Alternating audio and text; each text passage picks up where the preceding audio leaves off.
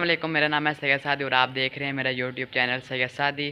तो गैज़ काफ़ी दिनों से मेरे यूट्यूब पर वीडियोस नहीं आ रही, तकरीबन दो हफ़्ते हो गए हैं। तो इसका, इसकी वजह क्या है? मेरे मोबाइल में कुछ प्रॉब्लम आ गई है बैटरी की कुछ प्रॉब्लम है, जिससे बैटरी टाइमिंग इसकी बहुत कम हो गई है।